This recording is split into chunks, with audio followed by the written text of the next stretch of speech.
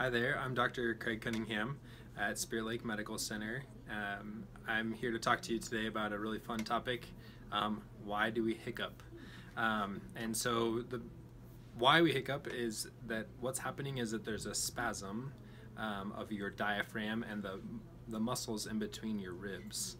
Um, and as those muscles spasm, you inhale quickly through uh, closed vocal cords, and that causes that that traditional hiccup sound that I'm not going to do today.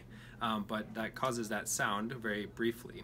And sometimes hiccups last temporarily. They can be from a, you ate, maybe you ate a big meal, um, uh, maybe you have some extra like um, acid buildup in your stomach, something that can cause essentially just irritation of that, that esophagus, um, and then that causes those spasm spasms of the diaphragm.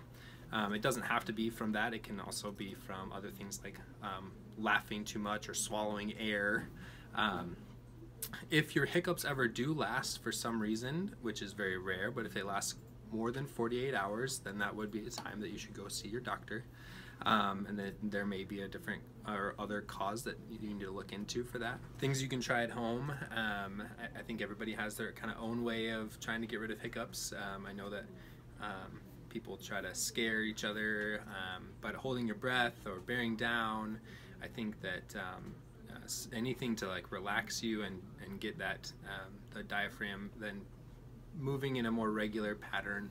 Um, gargling water um, can also help as well.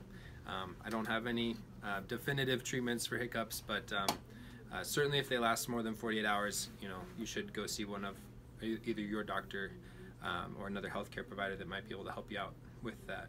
Um, if you ever uh, need to make an appointment, you can call 712-336-2410 uh, uh, at the Spirit Lake Medical Center, and we'd be happy to see you.